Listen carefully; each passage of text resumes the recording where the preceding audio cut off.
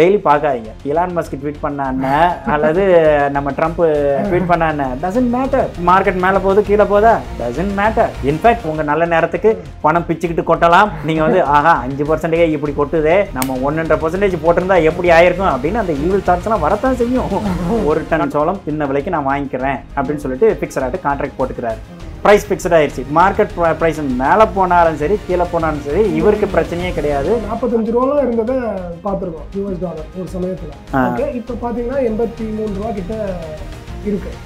இந்த இந்த ஃப்ளக்சுவேஷன் எதிராக எல்லாமே டாலரில் தான் ட்ரேட் ஆகுது ரைட்டா இப்போ அந்த டாலர்லேயே ட்ரேட் ஆகாமல் இருக்கிற ஒரு சூழ்நிலை வரதுக்கு வாய்ப்பு இருக்கு? ஃபார் எக்ஸாம்பிள் இப்போ நம்ம வேலை செஞ்சுக்கிட்டு இருக்கோம்னு வச்சுங்களேன். வேலை செய்கிறோம் அப்படி இல்லைன்னா ஒரு பிஸ்னஸ் பண்ணுறோம் என்னமோ பண்ணுறோம் அப்படின்னா பெஸ்ட் திங் அதாவது ஒரு நல்ல விஷயம் ஈஸியான விஷயம் அப்படின்றது இண்டெக்ஸ் ஃபண்டில் போட்டு பேசாமல் இருக்கிறது தான். சிம்பிள். ரொம்ப சிம்பிள் அதான் இண்டெக்ஸ் பண்ண வாங்கினோமா? நீங்க வந்துட்டு you focus on your core focus. என்னுடைய கோர் திறமை வந்து இன்வெஸ்ட்மெண்ட் கிடையாது. என் கோர் திறமை வந்து கோட் அடிக்கிறதோ அல்லது whatever work that I'm doing art ஒர்க்கோ whatever அதுல ஃபோக்கஸ் பண்ணுங்க. அதுல இது பண்ணுங்க. ஆனா அதுக்காக உங்களுக்கு இதுல இன்ட்ரெஸ்ட் வரக்கண்டாங்க இதுல உங்களுக்கு உண்மையிலே இன்ட்ரெஸ்ட் இருக்கு. அப்படின்னா நீங்க வந்து ஒரு பேஷனட்டா இருக்கீங்கன்னா டெவலப் பண்ணிக்க வேண்டியதுதான். இது உங்களுடைய ஃபோக்கஸ் வந்து இல்லப்பா எனக்கு இன்வெஸ்ட் பண்ணணும். ஆனா எனக்கு இதெல்லாம் டூ மச் அப்படின்னு சொன்னா சிம்பிள் எக்விட்டி இண்டெக்ஸ் ஃபண்டை வாங்கிட்டு ஜஸ்ட் லெட் இட் ரன் பேசாம இண்டெக்ஸ் ஃபண்ட்ல பண்ணிட்டு இருக்கேன். நல்லா போயிட்டு இருக்கு. ஓகே இப்போ நீங்க சொல்ற மாதிரி லம்சமாவும் போடுறோம். இல்லைன்னா வந்து இந்த ருப்பி காசு தினைக்கும் வாங்குறது இல்லைன்னா மாசம் மாசம் இல்லைன்னா வாரம் வாரம் வாங்குறது பண்ணிட்டு இருக்கோம். எந்த சமயத்துல ஸ்டாக்கை யோசிக்கிறோம்? இல்லைன்னா அதுல இருந்து ஒரு நீங்க நீங்க சொல்ற மாதிரி அதுல ஒரு வீடியோ ஒன்று பார்த்தேன் நீங்க போட்டது. ஒரு இருபது பர்சன்ட் ரிஸ்க் எடுத்து பண்ணலாமா? அது டைம் கன்சூமிங் ஆ? கண்டிப்பா. அஹ் உங்களுக்கு நேரம் இருக்கா அப்படிங்கிறது பார்க்கணும். ஃபர்ஸ்ட் நேரம் இருக்காங்கிறத விட நாலேஜும் வேணும். இப்ப வந்து சரி நீங்க வந்து இருபது பர்சன்ட்ல ரிஸ்க் எடுக்க போறீங்க அப்படின்னு சொன்னா எனக்கு அந்த நாலேஜ் இருக்குதா? இப்போ சார்லி பங்கர் சொல்வார் எப்பவுமே வந்து ஒரு டெசிஷன் எடுக்கிறதுக்கு முன்னால நம்ம மைண்ட் வந்து பை டிஃபால்ட் அதோட பாசிட்டிவ் சைடில் மட்டும்தான் ஃபோக்கஸ் பண்ணிட்டே இருக்கும். ஏய் இது வாங்குறோம்னா இது நாலு மடங்கு போகும்பா அஞ்சு மடங்கு போகும்பா அந்த இதில் மட்டும் ஃபோக்கஸ் பண்ணிட்டே இருக்கும். சார்லி மங்கர் என்ன சொல்லுவாருன்னா ரிவர்ஸ் பண்ணு இன் இன்வர்ஸ் அதாவது என்னன்னா அதை அப்படியே ஃப்ளிப் பண்ணி அது நடக்கல. நீ மொத்தமும் லூஸ் பண்ணிட்ட. வில் யூ பி ஓகே அப்படிங்கிற அந்த கொஸ்டினை கேளு. நீ வந்து ஆமா எனக்கு வந்து ஐ எம் பி ஓகே அப்படின்னு தெரிஞ்சிட்டு then you play with it எப்போவுமே do not focus just on இது எப்போவுமே மேலே தான் போகும் அத அப்படிங்கிற இதெல்லாம் இல்லாம இது வந்து இல்லப்பா அதாவது அதீத ரிஸ்க் எடுக்கிறத சொல்றேன். எக்விட்டி இன்வெஸ்ட்மெண்ட் இண்டெக்ஸ்ல இன்வெஸ்ட் பண்றீங்கன்னா நீங்க அந்த அளவுக்குலாம் யோசிக்க வேண்டாம் கண்ணு முட்டு போட்டுடலாம். ஆ, ஆனா நீங்க வந்து இந்த ஒரு இருபது பர்சன்ட்ல ஒரு கிரேசியான ரிஸ்க் எடுக்க விரும்புறேன் ஏதோ you are going to do crazy ஸ்டாப்னா you should always think about lose ஆனா வில் ஐ பி ஓகே அப்படிங்கிற கேள்வியை கேட்டுட்டு ஓகே இருப்பேன்னா அந்த இருபது பர்சன்ட் போகலாம் அதையும் கொஞ்சம் ரிசர்ச் பண்ணி போடுறது சாமர்த்தியம். ஆ, அதனாலதான் நான் என்ன சொல்றேன்னா இருபது பர்சன்ட்ல ஆரம்பிக்க கூடாது. எப்பவுமே வந்து ரெண்டு பர்சன்ட் மூணு பர்சன்ட் கொஞ்சம் கொஞ்சமா கம்ஃபர்ட் ஆக ஆக கொஞ்சம் கொஞ்சம் கொஞ்சமா கூட்டிக்கலாம்னு வைங்களேன். ஓகே. நீங்க அஞ்சு பர்சன்ட் போகும்போதே உங்களுக்கு தெரிஞ்சிடும் நீங்க வந்து you will burn your fingers எல்லாம் நிறைய இது லூஸ் பண்ணுவீங்க. நம்ம நினைச்ச மாதிரி இது இல்ல. நம்ம இது வந்து ஆக்சுவலா மாறி ஒர்க் ஆகுது. அப்படிங்கும்போது you will you might take a step back. Or உங்க அதாவது உங்க நல்ல நேரத்துக்கு பணம் பிச்சுக்கிட்டு கொட்டலாம். நீங்க வந்து ஆஹா அஞ்சு பர்சன்டேஜ் இப்படி கொட்டுதே. நம்ம ஒன்னொன்றரை பர்சன்டேஜ் போட்டிருந்தா எப்படி ஆயிருக்கும்? அப்படின்னு அந்த ஈவில் தாட்ஸ் எல்லாம் வரத்தான் செய்யும். கண்ட்ரோல் பண்ண பண்ண ஸோ பிஹேவியரல் இது வந்து இன்வெஸ்ட்மெண்ட்ல ரொம்ப முக்கியம்.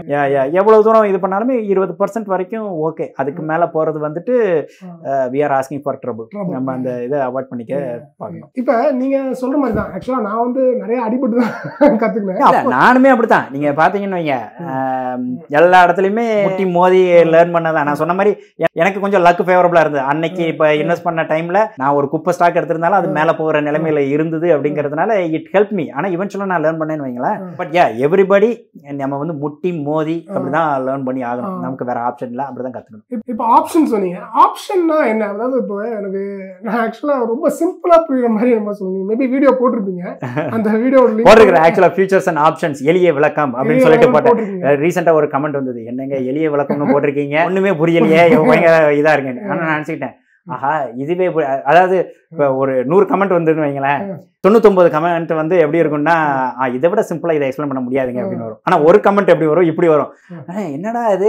இப்படி வருது அப்படியே வருது அப்படின்னா என்ன செய்யலாம்? அப்படின்ற மாதிரி யோசிக்கும். பட் எனிவேஸ் அதாவது நான் என்ன சொல்ல வந்தேன்னா சில பேருக்கு வந்துட்டு எவ்வளோ எவ்வளோ சிம்பிளிஃபை பண்ணாலும் அவங்களுக்கு காம்ப்ளிகேட்டட் தான் இருக்கும். நம்ம அது ஒன்றும் செய்ய முடியாது. We cannot help it Kellogg's owner இருக்கிறாரு. கெலாக்ஸ் ஓனர் வந்து அவருக்கு வந்து சோளம் வேணும். சோளத்தை வச்சு தான் அவர் வந்து சீரியல் பண்ண போறாரு. அப்ப அவர் என்ன பண்ண போறாரு? அடுத்த வருஷம் வந்து அவருடைய இதை ப்ரொஜெக்ட் பண்ணி ஆகணும். அல்லது அடுத்த குவார்டர்னு வச்சுக்கோங்க. அடுத்த குவார்ட்டருக்கு அவருக்கு வந்து ரெவன்யூவை ப்ரொஜெக்ட் பண்ணணும். அப்போ அவருடைய அன்சர்டன்ட்டியை எவ்வளோ தூரம் ரிமூவ் பண்ணணுமோ அந்த அளவுக்கு அவருக்கு நல்லது. ஸோ சோள விலை வந்து பார்த்தீங்கன்னா மார்க்கெட்டில் மேலே கீழே போய்கிட்டு இருக்குது. அவருக்கு வந்து அது அந்த அன்சர்டன்ட்டி அவருடைய ப்ரோஃபார்மாங்கிறாங்களே அவங்களுடைய அந்த ப்ரொஜெக்ஷனை வந்து பாதிக்கும். ஸோ அதை ஃபிக்ஸ்ட் ஆக்கணும்னா என்ன செய்யணும்னா ஒரு கான்ட்ராக்ட் போடணும். ஒரு சோள ஃபார்மரை கூப்பிட்டு ஏய் நான் வந்து மார்க்கெட்டில் சோளம் என்ன விலையாக இருந்தாலும் பரவாயில்லப்பா. ஒரு டன் சோளம் இந்த விலைக்கு நான் வாங்கிக்கிறேன் அப்படின்னு சொல்லிட்டு ஃபிக்ஸட் ஆகிட்டு கான்ட்ராக்ட் போட்டுக்கிறாரு. கான்ட்ராக்ட் போட்டார். அதுதான் ஆப்ஷன் கான்ட்ராக்ட் இப்போ இவருக்கு என்ன இதுன்னு சொன்னால் இப்போ ப்ரைஸ் ஃபிக்ஸ்ட் ஆயிருச்சு. மார்க்கெட் ப்ரைஸ் மேலே போனாலும் சரி கீழே போனாலும் சரி இவருக்கு பிரச்சனையே கிடையாது. ஃபார்மரோட கண்டிஷன் பாருங்க. அவருக்கு என்ன பிரச்சனை அப்படின்னா ஃபார்ம் பண்ணிடுறாரு. விவசாயம் பண்ணிட்டு சோளம் இருக்குது. ஆனால் மார்க்கெட் ப்ரைஸ் மேலே போயிட்டு இருக்கு கீழே போயிட்டு இருக்கு. அவருக்கு ஃபிக்ஸட் ப்ரைஸாக இருந்தால் அவருக்கு இவ்வளோ வரப்போகுதுன்னு கிளியராக தெரியும். கரெக்டாக அவர் அதுக்கு தகுந்த மாதிரி இது பண்ணி டெலிவர் பண்ணலாம். அவர் கஷ்டப்பட்டு எல்லாத்தையும் முடிச்சுட்டு ப்ரைஸ் கீழே போச்சுன்னு வச்சுக்கோங்க அவருக்கு பெரிய நஷ்டம். ஸோ இப்போ அவருக்கும் அன்சர்டன்ட்டியை ரிமூவ் பண்ணும் ஸோ அவருக்கும் இந்த கான்ட்ராக்ட் ஹெல்ப் பண்ணும் ஸோ ரெண்டு பேர் வந்து ஒரு அக்ரிமெண்ட்டுக்கு வர்றாங்க. ஆப்ஷன் கான்ட்ராக்ட் போட்டு. இந்த ப்ரைஸ் பண்ணும் இப்போ என்ன ஆகுது? அந்த கான்ட்ராக்ட்ல இருந்ததை விட ப்ரைஸ் கீழே போயிடுச்சுன்னு வச்சுக்கோ. ஓகே அந்த டைம்ல அந்த மாசம் ஒரு மா ஒரு நெக்ஸ்ட் குவார்டர் வருது ப்ரைஸ் கீழே போயிடும் இப்போ இந்த கான்ட்ராக்ட் வாங்கினார் இல்லையா நம்ம கலாஜ் ஓனர். அவர் என்ன பண்ணுவாரு? "ஏய், இந்த கான்ட்ராக்டை நம்ம அப்படியே விட்டுருவோம் மறந்துருவோம். ஆக்சுவலா மறந்துரும்னு சொல்ல முடியாது. ஏன்னா அவர் வந்து. கான்ட்ராக்ட் போட்டாரு அவரு ஹேஸ் டு பை ஏன்னா. அந்த அட்லீஸ்ட் அவருக்கு வந்து அந்த பாட்டம் மோஸ்ட் இது வந்து ப்ரொடெக்ட் விவசாயிக்கும் வந்து பாத்தீங்கன்னா அவருக்கும் வந்து ப்ரொடெக்டடா இருக்கார். ஸோ ரெண்டு பேரும் வந்து அந்த அந்த கேஸ்ல ப்ரொடெக்ட் ஆகிறாங்க. பிரைஸ் வந்து ஃபிக்ஸடா ரெண்டு பேருக்கும் நஷ்டம் இல்லாத மாதிரி வச்சுக்கிறதா கான்ட்ராக்ட் இப்படி ஆரம்பிச்சது இன்னைக்கு வந்து என்ன ஆகுதுன்னா அப்படி எழுதப்பட்ட கான்ட்ராக்ட்ஸ் ஒவ்வொன்றும் ட்ரேட் ஆகுது மார்க்கெட்ல அப்போ ட்ரேட் ஆகும்போது ஒவ்வொரு ஆளும் பெட் கட்டுறாங்க. இது பிரைஸ் மேல போகும் கீழே போகும் அப்படின்னும் ஒன்று. பெட் கட்டும்போது அது வந்து கிட்டத்தட்ட கேம்பிளிங்காக மாறிடுது. அதை ஹெட்ஜிங்க்கு பயன்படுத்தணும். நம்ம பிஸ்னஸுக்கு பாதிப்பு இல்லாத மாதிரி ப்ரொடெக்ட் பண்ணுறதுக்காக ஹெட்ஜிங்காக. ஆப்ஷன்ஸ் கான்ட்ராக்ட் யூஸ் பண்ணணும். ஆனால் மக்கள் யூஸ் பண்ணுறது அதுக்கு இல்லை. கேம்பிளிங்காக யூஸ் Yeah. பண்ணுறாங்க நான் எப்போவுமே சொல்லுவேன் வந்து நீங்கள் ஆப்ஷன்ஸ் விளாடுறீங்கன்னா உங்களுக்கு சந்தேகமே வேண்டாம். அது தான். அதில் சில பேர் வந்து சொல்லுவாங்க அதெல்லாம் இல்லை அது. இன்வெஸ்ட்மெண்ட் அது ஏன் இன்வெஸ்ட்மெண்ட் நிறைய பேர் விளக்கம் கொடுத்துட்டு இருப்பாங்க. அந்த விளக்கம்லாம் நீங்களே வச்சுக்கோங்க. என்ன பொறுத்த அது உங்க ஒப்பீனியன் ஏன் ஒப்பீனியன் இது கேம்பிளிங் ஏன்னா நீங்க ஒரு குறிப்பிட்ட நாளுக்கு. குறிப்பிட்ட ப்ரைஸுக்கு இந்த ஸ்டாக் போகும்னு சொல்லி பெட் கட்டுறீங்க. அப்படி பெட் கட்டுறீங்கனாலே அது கேம்பிளிங் அப்படின்னு நான் சொல்றேன். இப்போ யூஎஸ் டாலர் சொல்றோம் இல்லையா? இப்போ. US dollar and Indian rupee இப்போ நாற்பத்தஞ்சு ரூபாலாம் இருந்ததை பார்த்துருக்கோம் யூஎஸ் டாலர் ஒரு சமயத்துல. இப்போ பாத்தீங்கன்னா எண்பத்தி மூணு ரூபா கிட்ட இருக்கு. இந்த ஃபிளக்சுவேஷன் எதனால நடக்குது அதாவது சிம்பிளா வந்து இப்போ யூஎஸ் டாலர் ருபி அது எப்படி நம்ம ப்ரெடிக்ட் பண்றது? ஐயோ அந்த அது நம்ம ப்ரிடிக்ட் பண்ண முடியுமா அப்படின்னு கேட்டால் அது கஷ்டம்தான். சோஃபார் ஹிஸ்டரி ஹிஸ்டாரிக்கலாக பார்த்தா ஐஎன்ஆர் வந்து யூஎஸ் டாலரோட வேல்யூக்கு லூஸ் பண்ணிக்கிட்டு தான் போயிட்டு இருக்குது. ஆனால் இந்தியன் எக்கனாமி ஸ்ட்ராங் ஆகுது அப்படின்னு சொன்னால் ஃப்யூச்சரில் வந்துட்டு என்ன ஆகும்னா யூஎஸ் டாலரை பீட் பண்ணி போதோ இல்லையோ அட்லீஸ்ட் அது லூஸ் பண்ணுற வேகம் வந்து குறையும். இப்போ இன்னைக்கு எண்பது சில்லறையில் இருக்குன்னு சொன்னால் இன்னும் பத்து வருஷத்துக்கு கூட எண்பது சில்லறையிலேயே இருக்கலாம். உண்மையிலே பெட்டராக ஆகுதுன்னு சொன்னால் எண்பதுக்கு கீழே கொஞ்சம் கொஞ்சமாக வரணும். Who knows? It might happen நம்ம வந்து. ஐயா நம்ம எதுவுமே சொல்கிறதுக்கு இல்லை. ஆனால் looking back at history US dollar strengthen ஆகிட்டே வந்திருக்குது. இந்திய ரூபாய் வந்து கிராஜுவலாக லூஸ் பண்ணிக்கிட்டே தான் வந்திருக்குது. சரி இப்போ வந்து எல்லாமே டாலர்ல தான் ட்ரேட் ஆகுது ரைட்டா. இப்போ அந்த டாலர்லயே ட்ரேட் ஆகாம இருக்கிற ஒரு சூழ்நிலை வரதுக்கு வாய்ப்பு இருக்கா? இருக்கலாம். ஆனால் நான் அமெரிக்காவில் இருக்கிறதுனால நான் ஆப்டிமிஸ்டிக்காக யோசிச்சுட்டு அது நடக்காது அப்படின்னு நான் சொல்லுவேன். பட் அது வந்து சுயநல இது. But yeah anything can happen இல்லையா? அதனால வந்து. இப்போ இந்த டாலரோட இது பார்த்தீங்கன்னா லாஸ்ட் சிக்ஸ்டி செவன்ட்டி இயர்ஸ் இருக்குமா? அப்போ தான் அதோட டாமினன்ஸ் டாமினன்ஸ் இருக்கு. டாமினன்ஸ் ஆ, இருக்கு. ஆ, ஆ. மேபி எயிட்டி டாமினன்ஸ் வந்து டோட்டலாக ஃபியூச்சரில் மாறலாம்.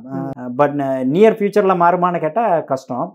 ஆனால் யோசிச்சு பார்த்தீங்கன்னு வைங்களேன் நான் அந்த- அக்யூமுலேட்டிவ் அட்வான்டேஜ்னு சொல்லுவாங்க. சில எக்கனாமிக்கல் பெனிஃபிட் வந்து ஓரளவு வளர்ந்துட்டாங்க அப்படின்னு சொன்னால் they have all the power to make it even better இப்போ. பெரிய கம்பெனிஸ் எடுத்துக்கோங்க மைக்ரோசாஃப்ட் கூகுள் இவங்கெல்லாம் இருக்கிறாங்க அப்படின்னு சொன்னால் பில்லியன்ஸ் ஆஃப் டாலர்ஸ் கேஷாக வச்சுக்கிட்டு சும்மா உட்காந்துக்கிட்டு இருக்கிறாங்க. அப்போ அவங்களுக்கு வந்துட்டு they have all the power இல்லையா? அவங்களுக்கு மற்ற சின்ன கம்பெனி முயற்சி பண்ணி பிரேக் அவுட் பண்ணி வரதை விட அவங்க வந்து பண்ணி சக்ஸஸ் ஆகிறதுக்கான வாய்ப்பு அதிகம். அதே மாதிரி தான் நான் வந்து எப்படி பார்க்குறேன்னா இப்போ யூஎஸும் அப்படிதான். இவ்வளவு தூரம் சக்ஸஸ்ஃபாக இருக்கிறதுனால ஸோ அதுதான் அக்யூமுலேட்டிவ் அட்வான்டேஜ் ம். அதை அவங்க புத்திசாலித்தனமாக பயன்படுத்திக்கிட்டாங்கன்னா அது இன்னும் வளரத்தான் செய்யும். பயன்படுத்துவாங்கன்னு நான் எதிர்பார்க்குறேன் பட் யூ நெவர் நோ நம்ம ஹிஸ்டாரிக்கலாக பார்த்தோம்னா ஸ்விங் ஆயிருக்கு தானே பவர் இவங்க முட்டாள்தனமாக ஏதாவது செஞ்சு ஏதாவது நடக்கலாம் அப்படிங்கும்போது அப்போ என்ன ஆகும்? டோட்டலாக வேற ஒரு பக்கம் இந்த இந்த எக்கனாமிக்கல் பெனிஃபிட் வளர்ந்துகிட்டே இருக்கலாம். இப்போ இந்த ஸ்டாக் மார்க்கெட் இருக்குல்ல இப்போ. ஸ்டாக் மார்க்கெட் வந்து அதோட ஹிஸ்டரி வந்து என்ன ஒரு டூ ஹண்ட்ரட் இயர்ஸ் ஓல்டா இல்லை இருக்கும். எனக்கு தெரிஞ்சு எனது எயிட்டீன் எயிட்டிஸ்ல இருந்து இருக்குன்னு நினைக்கிறேன். Maybe even older than that எனக்கு தெரியல. எனக்கு. அந்த அளவுக்கு தெரியல. சரி ஓகே இப்போ அந்த அளவுக்கு இருக்கு. இப்போ சில சமயம் நீங்க இப்போ நீங்க சொன்னீங்க ஆப்ஷன்ஸ் வந்து கேம்பிளிங் அப்படின்றீங்க. ரைட்டா ஓகே யார் எழுதுறாங்கங்கிறத பொறுத்து கேம்பிளிங் நம்மள நம்மள மாதிரி பட்ட ஆட்கள் ஆப்ஷன் சொல்லணும்னா கண்டிப்பா கேம்பிளிங் ஓகே ஸோ கேம்பிளிங் அது மாதிரி இப்போ இப்போ அந்த பெர்செப்ஷனே பார்த்தீங்கன்னா ரொம்ப அதாவது திடீர்னு இப்போ பார்த்தீங்கன்னா இலான் மஸ்க் ஒரு ட்வீட்டை போடுவார். ப்ரைஸ் டக்குன்னு ஏறும். அதுக்கப்புறம் திடீர்னு பார்த்தா வேற என்ன மாதிரி பண்ணுவாங்க டக்குன்னு இறங்கும். இது பார்க்கும்போது ஒரு மாதிரி கொஞ்சம் கோவம் வர மாதிரி இருக்கும். அது என்ன. பண்றது? எல்லாம் வந்து இப்ப நான் எப்படி சொல்லுவேன்னா ஒரு ஸ்டாக் வாங்குறோம் அப்படின்னா அந்த ஸ்டாக்கோட ப்ரைஸை வந்து நம்ம டோட்டலாக பார்க்கக்கூடாது. We should ignore the price movement என்விடியாவோட everyday price மூவ்மெண்ட்டை பார்த்தீங்கன்னு வைங்களேன் எல்லாருக்குமே ஹார்ட் அட்டாக் வர அளவுக்கு வந்து. போன மாதம் பார்த்தீங்கன்னா முப்பது பர்சன்ட் கீழே போச்சு. அதுக்கப்புறம் பார்த்தீங்கன்னா இப்போ முப்பது பர்சன்ட் மேலே வந்துருச்சு. நேற்று பார்த்தா ப்ளோ அவுட் குவார்டர்லி ரிசல்ட்ஸ் ஆனால் வந்து ஸ்டாக் ப்ரைஸ் மூவ் ஆகவே இல்லை. இன்னைக்கு பார்த்தா மூணு பர்சன்ட் மேலே கீழே போயிருக்குன்னு நினைக்கிறேன். எவ்வளோ நம்ம எவ்வளோ கீழே போச்சுன்னு தெரியல. நம்ம ஸோ இப்படி டெய்லி மூவ்மெண்ட்டை பார்க்கல நமக்கு வந்து இதாக தான் இருக்குது. இல்லையா? என்ன என்னையா இப்படி ஒரு வால்டைலான ஸ்டாக் இதே இது நீங்கள் ஒவ்வொரு குவார்ட்டரும் ரிசல்ட் அனௌன்ஸ் பண்ணும்போது அதோட ஷேர் ப்ரைஸ் என்ன அப்படிங்கிறத மட்டும் சார்ட் பண்ணீங்கன்னு வைங்களேன். அவங்க ரெவென்யூ ப்ராஃபிட் வந்து டக்கு டக்குன்னு மேலே போய்கிட்டே இருக்கும். ஷேர் ப்ரைஸ் பார்த்தீங்கன்னா அந்த குவார்டர்லி இதை மட்டும் பார்த்தீங்கன்னா டாட் டாட் டாட் மேலே தான் போய்கிட்டு இருக்கும். இப்போ அப்போ நடுவில் நடக்கிறது அவ்வளவும் பார்த்தீங்கன்னா noise so short term price movement so வந்து எல்லாரும் வந்துட்டு they focus on this short term price movement பண்ணக்கூடாது அப்படிங்கிற ட்ரேடர்ஸ் பண்ணணும். இப்போ ட்ரேடர்ஸ் இருக்காங்களா டெய்லி வந்து சார்ட்டை பார்த்துட்டு வாங்குறேன் விற்கிறேன் அவங்க தான் ஃபோக்கஸ் பண்ணுவோம் இப்போ நம்ம லாங் டேர்ம் இன்வெஸ்டர்ஸோட ஃபோக்கஸ் எதில் இருக்குன்னா ஒவ்வொரு குவார்ட்டரும் அவங்க ரெவன்யூ எப்படி க்ரோ ஆகுது ப்ராஃபிட் எப்படி க்ரோ ஆகுது மார்ஜின் கூடுதா? ஆக்சுவலாக என்விடியாவோட ரிசல்ட்ல நேற்று ப்ராஃபிட் மார்ஜின் கொஞ்சம் கீழே போயிருக்கு. ஃபிஃப்டி செவன்லேருந்து ஃபிஃப்டி ஃபைவ் போயிடுச்சு. ஸோ அது ஒரு சின்ன சேஞ்சினாலும் மார்க்கெட் வந்து is not happy about it so சின்ன சின்ன சேஞ்ச் நடக்கலாம்.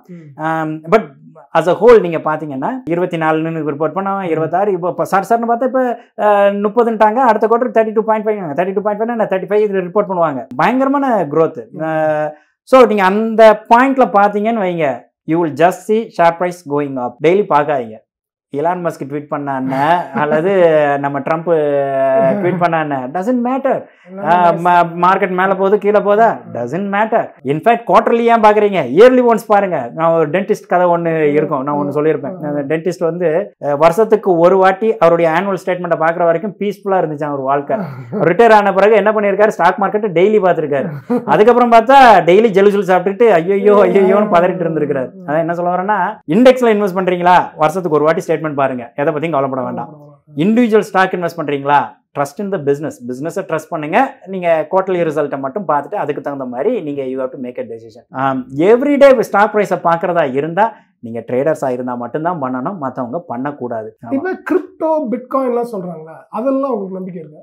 யா நம்பிக்கை இருக்கு. டிபெண்ட்ஸ் நீங்க என்ன மாதிரி பட்ட இப்ப பிட்காயின்னா நம்புவேன். இத்தேரியம்னா நம்புவேன். அதுக்கு மேல இருக்கிற என்ன ஆல்ட் காயின்ஸ் அதெல்லாம் சொல்றாங்களா நான் வேற எதுவுமே நான் வந்து எல்லாரும் டிஜிட்டல் கோல்டுன்னு சொல்றாங்க.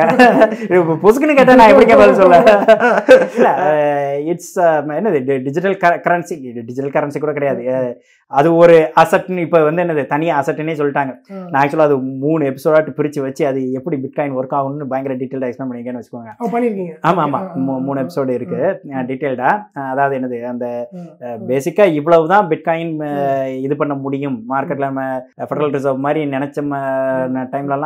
பிரிண்ட் அடிக்க முடியாது அப்படிங்கறதான் அதோட செல் வேல்யூ நீங்க கோல்டுன்னு சொல்றீங்க அதுக்கு பிசிக்கல் நீங்க பாக்குறீங்க அதுக்கு. வேல்யூ இருக்கு. இதை பிசிக்கலா பார்க்க முடியாது அப்படிங்கறதுனால அதுதான் டிஃபரன்ஸ் நீங்க வந்து எல்லாரும் வந்து அப்ப இதுக்கு வேல்யூ இல்லை அப்படிம்பாங்க. இன்ஃபேக்ட் யோசிச்சு பாத்தீங்கன்னா தங்கமே நீங்க வந்து பிசிக்கலா பார்த்துருந்தா மட்டும் அதுக்கு என்ன வேல்யூ அப்படின்னு Yeah. பாத்தீங்கன்னா நம்ம இந்தியால ஆர்னமெண்டா யூஸ் பண்ணுவோம். மொத்தம் பெரிய இட்ஸ் அ கொஸ்டினபிள் இது யூஸ். என் ஒப்பீனியன் வந்து அஹ், அது அவ்வளவு ஒரு யூஸ்ஃபுல் ப்ராடக்ட் இல்லை அப்படிங்கிறது. பட் ஆஃப்கோர்ஸ் எவ்ரிபடி எல்லாருடைய ஒப்பீனியன் மாறும். பட் எனிவே பிட்காயினும் அதே மாதிரி தான் சில கண்ணில் வந்து. அது யூஸ்லெஸ்ஸாக தெரியும். சில பேருக்கு வந்து இல்லப்பா அது வேல்யூவை ஹோல்ட் பண்ணக்கூடிய ஒரு அசட் தான் அப்படின்ற மாதிரி தெரியுது. ஹூ நோஸ் நான் என்ன பண்ணுங்க நான் இன்னும் வச்சிருக்கேன். நான் ஆக்சுவலாக எக்ஸ்போஷர் எடுக்கும்போது ரெண்டு பர்சன்ட் வச்சிருந்தேன் நினைக்கிறேன் என் போர்ட்ஃபோலியோவில் இப்போ வந்து அது மூணு மூன்றரை பர்சன்ட் இருக்கும். ஆ, ஸோ வந்து ஒரு லிட்டில் பர்சன்டேஜ் சும்மா நான் ஒருவேளை அது மில்லியன் டாலர் போயிடுச்சுன்னு வைங்க. ஐயோ அதில் போடாமல் விட்டோமே அப்படின்னு நினை- நினைச்சிட்டு இருக்கிறதுக்கு சும்மா ஒரு பர்சன்ட் சும்மா போட்டு வைப்போம். நானும் அந்த போட்டில் இருக்கிறேன் அப்படின்ற மாதிரி. அவ்வளோதான் முழு நம்பிக்கை கிடையாது. அதுக்காக நம்பிக்கை இல்லாமலும் இல்லை. நான் மற்றவங்களுக்கு நான் அதான் சஜஸ்ட் பண்ணுவேன். நீங்கள் வந்து பிட்காயின்லாம் எக்ஸ்போ இது பண்ணுறதா இருந்தால் சும்மா ஒரு ரெண்டு பர்சன்டேஜ் மூணு பர்சன்டேஜ் வைங்க. ரொம்ப நம்புறீங்களா? அஞ்சு பர்சன்டேஜ் வரை கூட வச்சுக்கோங்க. அதுக்கு மேலே அதில் போகிறது வந்துட்டு யுவர் ஆஸ்கிங் ஃபார் ட்ரபுள் சரி இப்போ நான் நீங்கள் சொல்கிற மாதிரி பணம்லாம் சேர்த்துட்டேன். ஓகேவா முப்பதுலேருந்து அறுபது வயசு வரைக்கும் நல்லா சேர்த்துட்டு நல்லா ஒரு பெரிய போர்ட்ஃபோலியோட இருக்கிறேன். சூப்பர் கங்க்ராச்சுலேஷன்ஸ் வாழ்த்துக்கள். கேட்குறேன் இப்போ என்ன பண்ணணும்? ஏன்னா இப்போ அவ்வளோ பணம் இருந்ததுன்னு வச்சுங்க இப்போ அறுபது வயசு ஆயிடுச்சு. அதை வந்து கொஞ்சம் கொஞ்சமாக எடுத்துடணுன்றாங்க எஸ்டபியூபின்றாங்க சிஸ்டமேட்டிக் வித்ராவல் பிளானு ஒரு வருஷத்துக்கு எவ்வளோ பணம் எடுக்கணும்? அது மாதிரி இப்போ இருக்கா நான் எப்படி யோசிக்கிறேன் அப்படின்னா. இப்போ எக்ஸ் சொல்கிறோம் இல்லையா? ஃபிஃப்டி எக்ஸ் சேர்த்துட்டோம் அப்படின்னு சொன்னால் ஒரு எக்ஸ் தான் நம்ம வந்து நம்ம எக்ஸுங்கிறது ஆனுவல் எக்ஸ்பென்ஸ் ஸோ என் ஆனுவல் எக்ஸ்பென்ஸுக்கு எக்ஸ் தான் தேவைங்கும் போது எக்ஸ் தான் எடுக்கிறேன். ஸோ ஃபிஃப்டி எக்ஸ் இருக்குது. இப்போ நீங்கள் யோசிச்சு பார்த்தீங்கன்னு ஃபிஃப்டி எக்ஸ் இருக்குது. அது பத்து பர்சன்ட் வளர்ந்தா போதும். அது ஃபிஃப்டி ஃபைவ் எக்ஸ் ஆயிரும் கரெக்ட் ஆனால் என் தேவை ஒரு எக்ஸ் தான். இப்போ நிறைய பேருக்கு அந்த கணக்கு புரியாது. நிறைய பேர் வந்து "இங்க இவர் என்ன சொல்றாரு? அப்படின்னு கொஞ்சம் கன்ஃபியூஸ் ஆயிடுவாங்க. ஆனால் யோசிச்சு பார்த்தீங்கன்னா ஃபிஃப்டி எக்ஸ் இருக்குது. பத்து பர்சன்ட் வளருதுன்னா அது ஃபைவ் எக்ஸ் வளர்ந்துருச்சு. ஆனால் என் தேவை ஒரு எக்ஸ் தான். நான் அந்த ஒரு எக்ஸை எடுக்கலாம் எடுக்காமலும் இருக்கலாம். இப்போ இன்னைக்கு நீங்கள் பார்த்தீங்கன்னா நான் இன்னைக்கு நான் வேலை பார்க்கல. நான் வந்து ஃபிஃப்டி எக்ஸ் வந்து ஃபிஃப்டி ஃபைவ் எக்ஸ் ஆகுதுன்னு வச்சுக்கோமே என் ஒய்ஃப் ஒர்க் பண்ணுற போய் எனக்கு வந்துட்டு அந்த ஒரு எக்ஸ் எடுக்க வேண்டிய அவசியமும் இல்லை. ஆனால் ஒரு எக்ஸ் எடுக்கிறதா இருந்தாலும் இட் டசன்ட் மேட்டர் எனக்கு வந்து ஃபிஃப்டி ஃபைவ் எக்ஸுக்கு பதிலாக ஃபிஃப்டி ஃபோர் எக்ஸ் ஆயிருக்கும். correct. ஆ, ஸோ வந்து you just let it grow. அப்படிங்கிறதுனா அதான் கான்செப்ட் ஐடியா இப்போ நீங்கள் வயசு ஆக ஆக உங்களுக்கே தெரியுது. சரி ஓகே ஃபிஃப்டி எக்ஸ் இருக்குப்பா. ஃபிஃப்டி ஃபைவ் எக்ஸ் ஆயிடுச்சுன்னு வச்சுக்கோம் ஆ, இல்லை நான் ஃபிஃப்டி எக்ஸே மெயின்டைன் பண்ணிக்கிறேன் அப்படின்னு நீங்கள் நினச்சி நினைக்கணும்னா. ஃபிஃப்டி ஃபைவை நீங்கள் ஃபிஃப்டி எக்ஸாக மாற்றணும் அப்போ என்ன பண்ணணும்? உங்கள் செலவு எக்ஸை கூட்டுங்க. எக்ஸை கூட்டி நீங்கள் வந்து ஃபிஃப்டி ஃபைவை ஃபிஃப்டி ஆக்கிக்கோங்க. ஸோ ஒரு வருஷ விட்ராவில் அதிகமாக்கிக்கோங்க. யூ என்ஜாய் மோர் உங்கள் லைஃப்பை வந்து இன்னும் கொஞ்சம் இது பண்ணி. அடுத்த வருஷம் இன்னொரு மறுபடியும் 50 பத்து பர்சன்ட் வளர்ந்து மறுபடியும் ஃபிஃப்டி ஃபைவ் எக்ஸ் ஆகுதுன்னு வைங்க. உங்கள் எக்ஸை இன்னும் கூட்டுங்க. So keep on increasing goal என்னது. ஃபிஃப்டி எக்ஸை மெயின்டைன் பண்ணிட்டே இருங்க. ஏன்? மொத்த பணத்தையும் நீங்கள் வந்து போகும்போது செலவழிச்சிருக்க மாட்டீங்க. தட்ஸ் ஓகே ஒவ்வொரு வருஷமும் உங்கள் லைஃப் பெட்டர் ஆகிட்டு தானே இருக்குது. அதிகமாக தானே செலவழிச்சு அதிகமாக தானே பெட்டர் லைஃப் தானே வாழ்றீங்க. That is all it matters so இப்போ நீங்கள் வந்து நாற்பது வயசு வரைக்கும் இதை பண்ணீங்க. பண்ணிட்டு அதுக்கப்புறம் சரி எனக்கு போதும். நான் வந்து நான் வந்து இனிமே நான் ஒர்க் பண்ணல. நான் ஃபுல் டைம் ஒர்க் பண்ண போகிறதில்ல நான் இன்வெஸ்ட்மெண்ட் பண்ணி பார்க்க போகிறேன் எங்கோ நான் என்ஜாய் பண்ண போகிறேன் அப்படின்ற முடிவுக்கு வந்துட்டீங்க ரைட் ஸோ அது ரொம்ப யோசிச்சிங்களா? அந்த முடிவு எடுக்கிறதுக்கு அது எத்தனை நாள் அந்த ப்ராசஸ் ஓடிச்சு? ஒரிஜினலாக எனக்கு அந்த மாதிரி பிளான் இல்லை. கோவிட் வந்த பிறகு it had an influence COVID வந்த பிறகு வந்துட்டு ஒரிஜினல் நான் என்ன நினச்சேன்னா சொன்னா, சரி ஐம்பது வயசு வரை வேலை பார்ப்போம். ஐம்பது வயசுக்கு அப்புறம் நமக்கு வந்துட்டு I think we will have a good size portfolio நம்ம வந்து வேலையை விட்டு வெளில வந்துடலாம். அப்படின்னு தோணுச்சு. கோவிட் வந்த பிறகு பார்த்தா என்ன ஆயிடுச்சு? மென்டாலிட்டி கொஞ்சம் மாறிடுச்சு. ஏன்னா வந்து ஓ நம்ம லைஃப்ல வந்து எது முக்கியம் நினைக்கிறோமோ எல்லாம் எல்லாமே வந்து அப்சைட் டவுன் ஆட்டு. டக்குன்னு ஒரு ஷார்ட் டைம் ஃப்ரேம்ல மாறிடும்.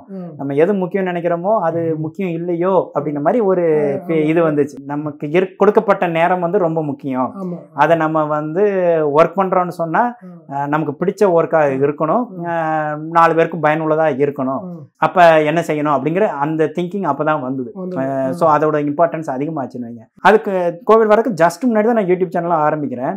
அதுவும் ஆரம்பிச்சு கொஞ்சம் டீசெண்டாக போயிட்டு இருந்தோன்னா எனக்கு வந்து ஓகே சரி நமக்கு வந்து நம்மள மிஞ்சி இருக்க போறது எவ்வளவு வருஷம் இருக்க போறோம்னு தெரியல. ரீசனபிளான நமக்கு தெரிஞ்ச விஷயங்களை பதிவு பண்ணிப்போம். நான் ஆக்சுவலாக எதிர்பார்த்தது ஒரு மேக்ஸிமம் ஒரு பத்தாயிரம் சப்ஸ்கிரைபர்ஸ் வருவாங்கன்னு நினைச்சேன். எதிர்பார்த்தேன். அவ்வளவுதான். அதுக்கு மேலே வரக்கு அங்கே வாய்ப்பே இல்லைன்னு தான் நான் நினைச்சேன். ஏன்னா ஃபைனான்ஸ் சேனல்லாம் யார் பார்ப்பாங்க? நோபடி வாட்சஸ் தான் ஆ. நான் நினைச்சேன். பட் ஆனால் surprisingly things lot of things change. அப்போ வந்து இருந்த மென்டாலிட்டி வந்து சரி ஓகே பயன்படுத்துறவங்க பயன்படுத்தட்டும். இல்லாட்டினாலும் நம்ம சந்ததியினருக்கு நான் வந்து ஒரு ரெக்கார்ட் விட்டுட்டு அஹ் ஒரு ரெஃபரன்ஸ் ஏ எங்க அப்பா அப்படி சொல்லியிருக்காருப்பா எங்க தாத்தா அப்படி சொல்லியிருக்காரா யூடியூப் எடுத்து பாடுறா அப்படின்னு சொல்லி பார்த்து சரி அவங்க ஃபைனான்ஸ் நாலேஜ் கொஞ்சம் கத்துக்கலாம். அதுக்காண்டியாவது ஒரு பதிவு இருக்கட்டும் அப்படிங்கிறது தான் என்னுடைய இன்டென்ஷனா இருந்துச்சு. பேசிக்காக பார்த்தா டைம் நமக்கு கொடுக்கப்பட்ட டைமை நம்ம எஃபிஷியண்டாக யூஸ் பண்றோமா? அல்லது டோட்டலா அது பயங்கர இப்போ ஒர்க்கும் பண்ணிக்கின்னு இந்த இன்வெஸ்ட் பண்றது கொஞ்சம் கஷ்டமா இருந்தது. பெருசாலாம் ஒன்றும் இல்லை. நான் தான் சொன்னேன் நான் வந்து பெரிய காம்ப்ளிகேட்டடாலாம் எதுவுமே பண்ண மாட்டேன். நான் அதாவது என்னது ட்ரேடிங் பண்ணுறவங்களுக்கு தான் you will need lot of time.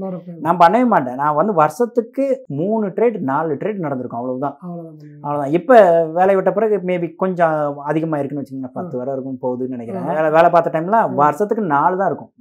என் போர்ட்ஃபோலியோவில் இருக்க ஸ்டாக்ஸ்லாம் பார்த்தீங்கன்னா நான் அப்போ டூ தௌசண்ட் லெவன் டுவெல்ல வாங்கினது தான் இருக்கும். அந்த மாதிரி தான் ஒரு கேள்வி இருக்கு. இப்போ ம். நீங்க வந்து சார்லி மங்கர்லாம் சொன்னீங்க ரைட் சொன்னீங்க. ஃபாலோ பண்ணணும்னு கேட்குறேன் இப்போ வாரன் பஃபெட்லாம் என்ன சொல்றாரு? நான் வந்து ஒரு கம்பெனியை எப்பவுமே லாங் டேர்ம் தான் இன்வெஸ்ட் பண்றேன். ம். நான் இன்வெஸ்ட் பண்ணிட்டேன்னா இப்போ நீங்க சொல்ற மாதிரி நான் ரெண்டு ட்ரேட் மூணு ட்ரேட் தான் பண்றேன். I'm holding for long term அப்படின்னு சொல்றீங்க. வாரன் பஃபெட்டே என்ன பண்றாரு? ஆப்பிள்லாம் கொஞ்சம் கொஞ்சமா குறைச்சிடுறாரு. அப்ப அது என்னது எனக்கு புரியல. இப்போ நீங்கள் ஆப்பிளே பாருங்களேன். இப்போ அவர் வாங்கினப்ப எத்தனை பர்சன்டேஜ்னு எனக்கு ஷூராக தெரியல. இருபது இருபத்தஞ்சு பர்சன்டேஜ் தான் இருக்கும்னு நினைக்கிறேன். அதை விட கம்மி. யாராக இருந்தாலுமே இப்போ என் போர்ட்ஃபோலியோவில் ஒரு ஸ்டாக் ஐம்பது பர்சன்ட் இருக்குன்னா ஐ பி நர்வஸ் ஐம்பது பர்சன்ட் மேலே ஆப்பிள் வந்து பெக்ஷர் ஹாத்தவேல அவங்க எப்படி வச்சிருக்கலாம்? It's very risky move. So our cut பண்ணியே ஆகணும். வேற வழியே கிடையாது. அவருக்கு ஆப்ஷனே கிடையாது. ஸோ அவர் வந்து விற்கிறாரு அதுவும் அவர் மொ- மொத்தமா வித்தாருன்னா அவரால் இது மார்க்கெட்டிங் இதாகும். அவரால் முடியாது. ஸோ கொஞ்சம் கொஞ்சமா கட் டவுன் பண்ணி ரேம்ப் டவுன் பண்றாரு ம். So he has his own reasons நம்ம வந்து அது சொல்ல முடியாது. பட் பர்சனலாக இப்போ நம்மளே பார்க்குறோம் இப்போ நானே பார்க்குறேன் எனக்கு NVIDIA ரொம்ப பிடிக்குது. நான் வாங்கி வச்சிருக்கிறேன். At certain point of time I am seeing இதோட பிஸ்னஸ் வந்து. ஸ்லோ ஆக போகுது. Is it worth holding it. அப்படிங்கிற மாதிரி கொஸ்டின் இப்போ இன்னைக்கு பார்த்தீங்கன்னா அதோட ஃபியூச்சர் பிஇ வந்து. 40 ல இருந்து ஃபிஃப்டி வரைக்கும் மார்க்கெட். கொடுக்கும். இதே இது ஸ்லோ growth ஸ்லோ ஆச்சுன்னா ஃபார்ட்டி பி ஃபியூச்சர் ம். பி எல்லாம் கொடுக்காது. குறைச்சிட்டே வந்துடும் முப்பது இருபதுன்னு வந்துடும் அப்படி வருதுன்னு சொன்னா அப்போ ஸ்டாக் ப்ரைஸ் நல்லாவே கொலாப்ஸ் ஆகும். ஸோ. அப்போ அதுக்கு நான் வந்து ரெடியா இருக்கேனா?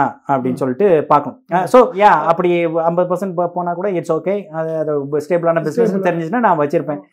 இல்ல இது நமக்கு சரிப்பட்டு வராதுன்னு சொன்னா I have to sell it and get out percentage of அந்த ஸோ அதுக்கு தான் வந்து அந்த. இண்டிவிஜுவல் ஸ்டாக் வச்சிருக்கும் போது you have to spend little more time at least once in a quarter you have to review அவங்க ஏர்னிங்ஸ் ரிலீஸ் பண்ணும்போது அது பார்க்கணும். டெய்லி பார்க்காட்டினாலும் டெய்லியெல்லாம் பார்க்க முடியாது.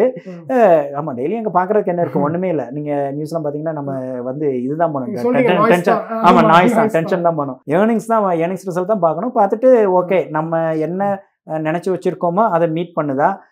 மீட் பண்ணல அதை விட மேலே போச்சுன்னா ரொம்ப சந்தோஷம். இல்லப்பா அதை நம்ம மீட் பண்ணதை விட கீழே வருது அப்படின்னு சொன்னா then you to watch out okay அது கீழே வர்றது ஓகே தானா? டெம்பரரி இதா? இந்த கம்பெனிக்கு மட்டும் இருக்கிற பிரச்சனையா? அல்லது ஹோல் எக்கனாமினால இது இப்படி ஆகுதா? So you have to ask lot more questions questions கேட்டு சாட்டிஸ்ஃபைங்காக இருந்தால் you will continue to hold இல்லைன்னு சொன்னால் you have to decide to sell at some point of time நீங்கள் வித்துட்டு வெளில வந்து தான் ஆகணும். ஸோ இப்போ நீங்க வேலையை விட்டுட்டீங்க. வேலையை விட்டுட்டு இப்போ இப்போ என்ன பண்றீங்க?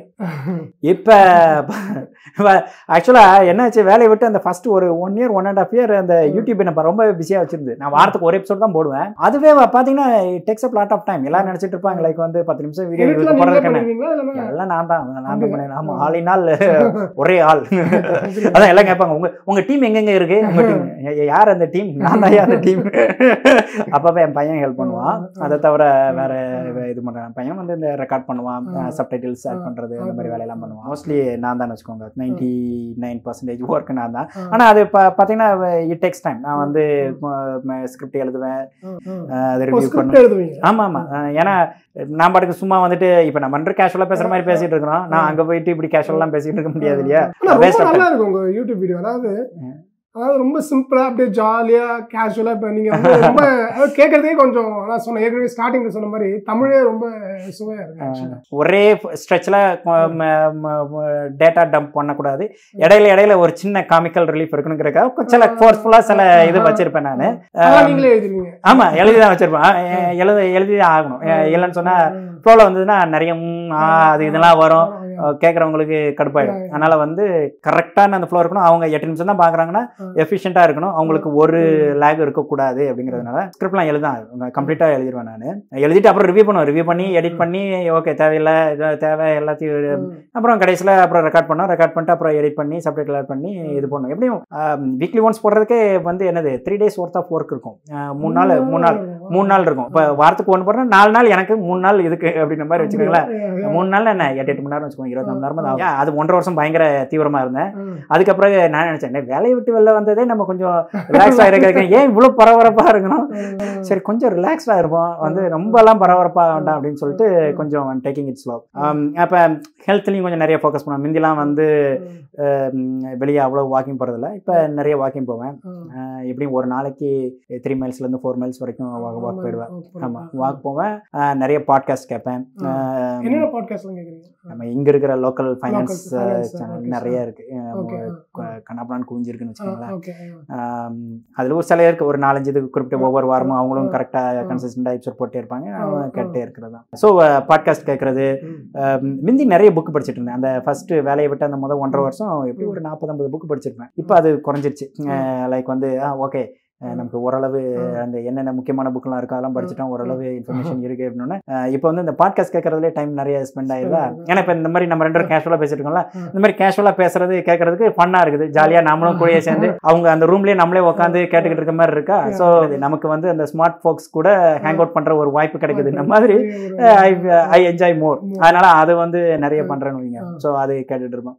கிராண்ட் கேனியனுக்கு ஹைக் போகிறோம் rim to rim hike twenty three miles hike so அதுக்கு அவ்வளோ ஈஸியாக பண்ண முடியாது. ப்ராக்டிஸ் பண்ணோம் அப்படிங்கிறதுனால எவ்ரி வீக்கெண்ட் வந்து நாங்கள் ஒரு குரூப் இருக்கிறோம் அஞ்சு ஃப்ரெண்ட்ஸ் எல்லாம் சேர்ந்து ஆமாம் பார்த்தீங்கன்னு வைங்க. காலையில் ஃபிஃப்டீன் மைல்ஸ் நடப்போம். சாயங்காலம் அங்கே ஒரு ஸ்டேர்ஸ் இருக்கு. ஸ்வாலோ கிளிஃப்ட் ஸ்டேர்ஸ்னு சொல்லிட்டு நூற்றி இருபத்தெட்டு படி மேலே போனோம்.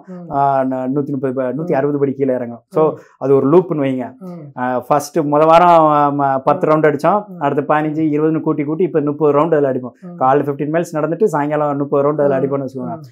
அதாவது யோசிச்சு பார்க்குறேன் டூ மந்த்ஸுக்கு முன்னாடி இதெல்லாம் உன்னால் பண்ண முடியுமான்னு கேட்டால் வாய்ப்பே கிடையாது. இப்போ வந்து கன்சிஸ்டண்டாக அதை ப்ராக்டிஸ் பண்ணி ப்ராக்டிஸ் பண்ணி இப்போ வந்துட்டு விவர் ஏபிள் டு அதாவது ஈஸியெல்லாம் பண்ண முடியல.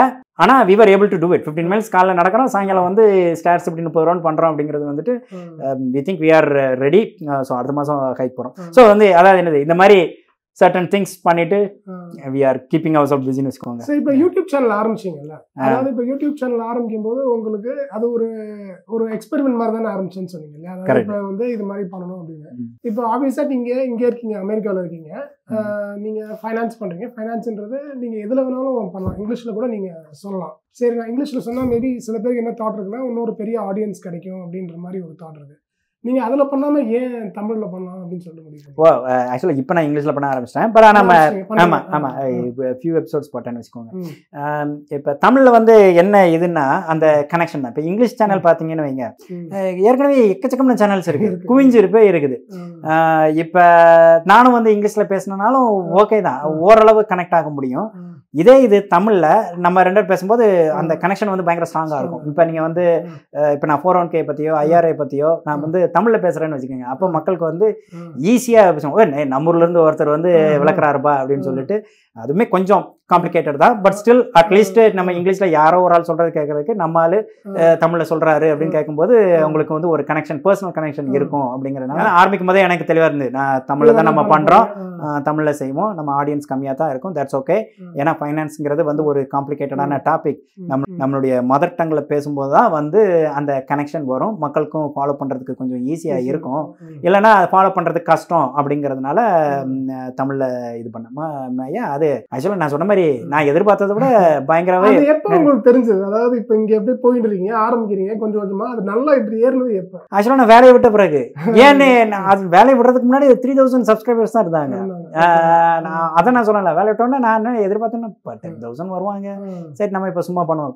ஆனால் அந்த ஒரு எபிசோட் சும்மா விட்டோம் நான் ஒய் ஐம் லிவிங் கார்பரேட் லைஃப்னு ஒன்று அது பார்த்தா சரணு கிட்டே நான் யோசிச்சு போயிருந்தேன் சேனல் ஆரம்பிச்சோம் அப்படின்ற மாதிரி. But it's okay okay that's helping அப்படின்னு நினச்சிக்கிட்டேன் நான். அந்த அந்த ஒரு எபிசோட் பயங்கரமா இதாச்சு. உடனே அதுக்கப்புறம் மை இன்வெஸ்ட்மெண்ட் ஜேர்னின்னு மூணு எபிசோட் போட்ட உடனே எல்லாருக்குமே வந்துட்டு they were able to connect the dots அது வரைக்கும் வந்து எதுக்குடா இருந்தாலும் வேலையை விடுறாரு அப்படின்ற மாதிரி ஒரு கொஸ்டினபிள் தாட் வந்தது. இது நம்புற மாதிரி இல்லையே அப்படின்ற மாதிரியும் இருந்தது. இன்வெஸ்ட்மெண்ட் ஜேர்னி அந்த சீரிஸ் போட்ட உடனே அவங்களுக்கு வந்து ஓ இப்படி தான் நடந்ததுன்னு அப்போ அவங்களுக்கு தெரிஞ்சிருச்சு. ஓகே இது practically possible this is why is doing அப்படின்ட்டு. அப்பவும் சில மக்கள் சொல்லுவாங்க "ஏய், இவருக்கு என்னையா ஆம்பளை சிங்கம் ஒய்ஃபை வேலை பார்க்க விட்டு பெண் சிங்கத்தை வேட்டையாட விட்டு ஜாலியாக இருக்காரு அப்படின்னு சொல்ற ஆட்கள் இருக்கத்தான் செய்றாங்க. பட் லைக் எ said அவங்களுக்கு வந்து தே டோன்ட் ரியலைஸ் இப்போ நீங்கள் ஃபிஃப்டி எக்ஸ் வச்சிருக்கீங்க பத்து பர்சன்ட் கூடுதுன்னா அதுவே அஞ்சு எக்ஸ் அப்படிங்கிற விஷயம் டோன்ட் திங்க் மச் அவங்க வந்து they look at the other part it's okay it doesn't matter இப்போ நீங்க உங்க பணத்தை மேனேஜ் பண்றீங்க. பிறர் பணத்தை மேனேஜ் பண்ணும். இந்த வெல்த் மேனேஜர்லாம் சொல்றாங்களா அது மாதிரி எல்லாம் ஐடியா வச்சிருக்கீங்களா? அந்த அளவுக்கு நான் ஸ்ட்ரெஸ் எடுக்க விரும்புறேன்னா வேலையிலே இருந்திருப்பேன். இது வந்து ஸ்ட்ரெஸ்ஃபுல்லான விஷயம் இல்லையா? இப்போ நான் வந்து I am trying to reduce stress as much as possible தேவையில்லாத ஸ்ட்ரெஸ்ஸை எடுத்துக்க வேண்டாம். ரிலாக்ஸ்டாக இருப்போம். நம்ம ஹெல்த் முக்கியம். ஃபேமிலிக்கு நம்ம பசங்களுக்கு டைம் ஸ்பெண்ட் பண்ணோம் இப்போ அவங்க கிரிட்டிக்கல் டைமில் இருக்காங்க. காலேஜ் அனுப்புற வரைக்கும் at least for next five years வந்து தே நீட் மீ ஸோ அதில் ஃபோக்கஸ் பண்ணுவோம். அட் த சேம் டைம் நம்ம மூளை மலிங்கிடக்கூடாது. நம்ம வந்து ஷார்ப்பாக வச்சிருக்கணுங்கிறதுனால மார்க்கெட்டை வந்துட்டு க்ளோஸ் க்ளோஸ்லி ஃபாலோ எக்கனாமியை க்ளோஸாக ஃபாலோ பண்ணு. இப்போ இந்த யூடியூப் சேனல் வந்து ஒரு லெட் அவுட் மாதிரி ஓகே நம்ம இப்போ அது பண்ணணுங்கிறதுக்காண்டியாவது நான் வந்து இதை கொஞ்சம் இது பண்ணிட்டு செய்வேன். மிந்தி மாதிரி என்னால் வாரத்துக்கு ஒரு வாட்டி பண்ண முடியல பட் அட்லீஸ்ட் வந்து I try to do once in two weeks இப்போ ரீசெண்ட் டைம்ஸில் ரொம்பவே குறைஞ்சிருச்சு. அதான் நான் சொன்னேன் இப்போ இந்த ப்ராக்டிஸ் இதெல்லாம் பண்ணுற போய் ஸ்லோ ஆயிடுச்சு. அக்டோபர் மாதத்துக்கு அப்புறம் then I am thinking okay ramp it up மறுபடியும் வந்துட்டு வின்டர் டைமில் நமக்கு என்ன பெரிய வேலை? So you will focus more on this and then do more so yeah அதுதான் முக்கியமான இது. இந்தியாலாம் வர அடிக்கடி போவீங்களா? இந்தியாலாம் தோணும்போது போவேன்னு வச்சுக்கோங்களேன். டூ மந்த்ஸ் ஒன்ஸ் அந்த மாதிரி டூ மந்த்ஸ்ங்க டூ இயர்ஸ். நம்ம. டூ மந்த்ஸ் ஒன்ஸ் போனாலும் அப்படின்னு டூ இயர்ஸ் ஒன்ஸ் போவேன் நான். வருஷத்துக்கு ஒரு வாட்டி போகணுன்னு பிளான் இருந்துச்சு. அதுக்கப்புறம் வந்துட்டு சரி அட்லீஸ்ட் இப்போ கிட்ஸ் வந்து கரையேற்ற வர்றதுக்கு மாதிரி நம்ம அதை பற்றி யோசிக்க வேண்டாம். இங்கே இருக்கணும் அப்படிங்கிறதுனால என் ஒய்ஃபுக்கும் சப்போர்ட் தேவைப்படும். பசங்களை கொஞ்சம் இது. பண்ணுறதுக்கு ஸோ வந்து ஓகே இங்கே இருந்து அவங்களை கரையேற்றி விட்டுருவோம். அதுக்கப்புறம் பார்த்தீங்கன்னா இப்போதைக்கு வந்து yeah once in two years ரொம்ப ரொம்ப நன்றி விஜய். ரொம்ப நன்றி. பேசுனது ரொம்ப ஒரு சுவையான அனுபவமா இருந்தது. நிறைய கத்துக்கணும். ரொம்ப அழகா பேசுனீங்க. சூப்பருங்க. தேங்க்யூங்க நீங்களும் ஒரு ஷார்ட் டைம் பீரியட்ல நமக்கு நேரம் நோ ப்ராப்ளம் நீங்களும் நம்ம வந்து நம்ம ஒரு பழைய ஃப்ரெண்டு வந்து கேட்சப் பண்ற மாதிரி ஜாலியாக ரிலாக்ஸாக நம்ம ரெண்டு பேரும் ரொம்ப நேரம் பேசிட்டு இருந்தோம். நல்ல கேள்விலாம் கேட்டீங்க. எனக்கும் வந்து இது ஒரு நல்ல ஒரு லெட் அவுட் ஒரு நானே வந்து பழைய நிறைய விஷயங்கள்லாம் யோசிச்சதே கிடையாது. நீங்க கேட்க ஓ ஆமால அப்படின்ட்டு நானே யோசிச்சு சரி வந்துடலாம் அப்படியே சொல்லிட்டே இருந்தேன். But it's very good. Nice talking to you thank you very much. ரொம்ப நன்றிங்க. Sure.